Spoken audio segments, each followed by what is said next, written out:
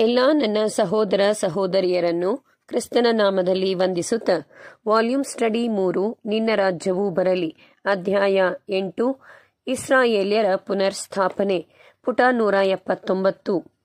ನಮ್ಮ ಪವಿತ್ರ ನಗರವು ಪುನಃ ಕಟ್ಟಲ್ಪಡುವುದು ಮತ್ತು ಅಲ್ಲಿ ದಾವೀದನ ಸಿಂಹಾಸನವು ನಿತ್ಯ ಕಾಲಕ್ಕೂ ಸ್ಥಾಪಿಸಲ್ಪಡುವುದು.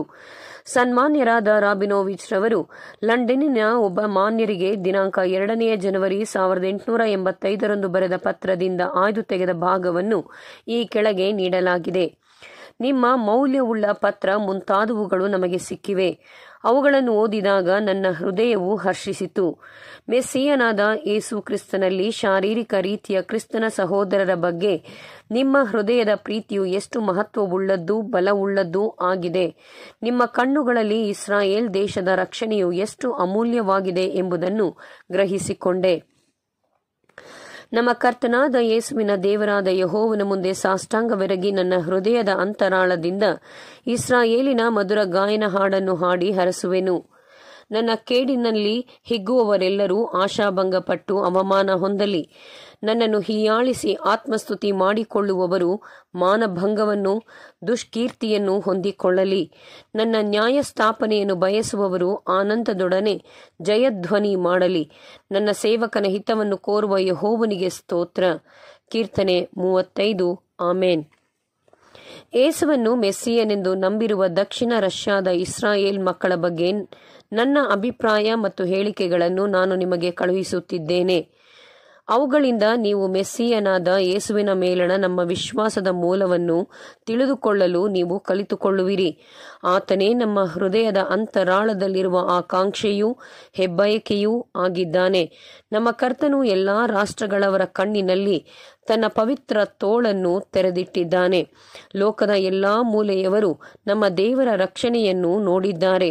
ಇಸ್ರಾಯೇಲ್ಯರ ಮಧ್ಯದಿಂದ ಎಲ್ಲಾ ಅಶುದ್ಧರನ್ನು ಹೊರಡಿಸಿ ಬಿಡುವ ಮತ್ತು ಕರ್ತನ ಪಾತ್ರೆಯನ್ನು ಹೊರುವವರ ಶುದ್ಧೀಕರಣದ ಸಮಯವು ಬಂದದೆ ಎಂಬುದರ ಬಗ್ಗೆ ನಮ್ಮ ಕರ್ತನಾದ ಯೇಸುವಿನಲ್ಲಿ ನಮ್ಮ ಸಹೋದರರಾದ ಆಂಗ್ಲ ಸ್ನೇಹಿತರನ್ನು ಈ ಕರಪತ್ರದ ಮೂಲಕ ಮನದಟ್ಟುಪಡಿಸಬಹುದು ನಿಜವಾಗಿಯೂ ಕರ್ತನ ರಕ್ಷಣೆಯು ಆತುರವಾಗಿ ಹೊರಗೆ ಹೋಗುವುದಿಲ್ಲ ಮತ್ತು ಒಳಗೆ ಬರುವುದೂ ಇಲ್ಲ.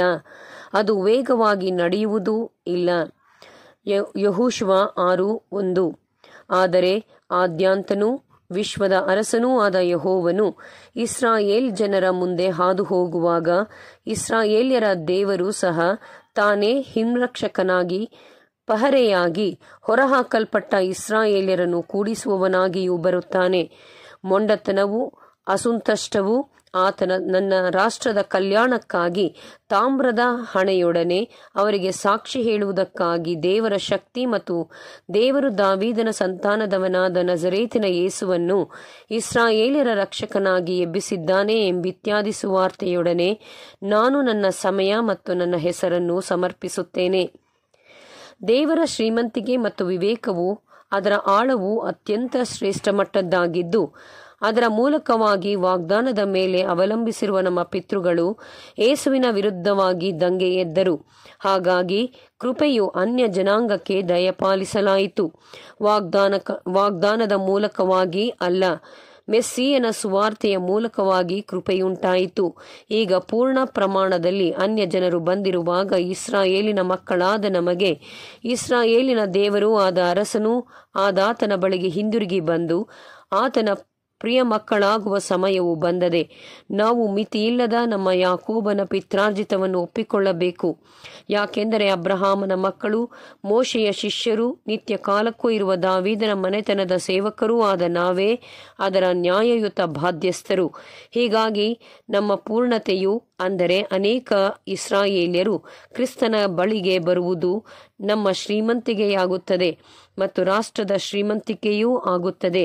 ಸಂತ ಪೌಲನು ಹೇಳಿರುವಂತೆ, ಯಹೋವನ ವಾಕ್ಯದ ಪ್ರಕಾರ ಆತನ ಪ್ರಥಮ ಫಲದಲ್ಲಿ ಜನಿಸಿದವನು ಮತ್ತು ಹಿಂತಿರುಗಿದ ಅನ್ಯ ಜನರಲ್ಲಿ ಪ್ರಧಾನನು ಏಸು ಕ್ರಿಸ್ತನೇ ಎಂಬುವಂಥದ್ದೇ.